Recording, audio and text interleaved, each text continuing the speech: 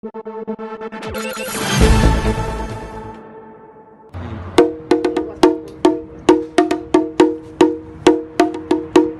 falta de trabajo que generó el coronavirus está por dejar en la calle al señor José Álvarez Fierros, un invidente que vive de hacer sonar su tambor en el cruce de las calles López Cotilla y Colón en el centro de Guadalajara. Don José apenas gana para comer y como ya no tiene para pagar la renta, su casero en Tlajomulco amenazó con desalojarlo. Yo estoy en López Cotilla y Colón de 9 a 2 de la tarde. Y la ayuda que recibo ahorita es de 50, 60 pesos para comer yo y mi señora.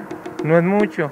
Ya voy a deber cuatro meses de renta y pago 900 pesos al mes. El 30 de este mes van a ser cuatro meses y yo no tengo con qué pagar porque ahorita apenas sacamos para comer una vez yo y mi señora. Estamos solos.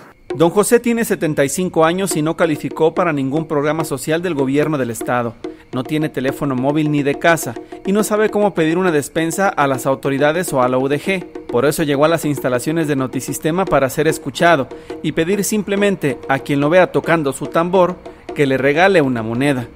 Notisistema Víctor Montes Rentería.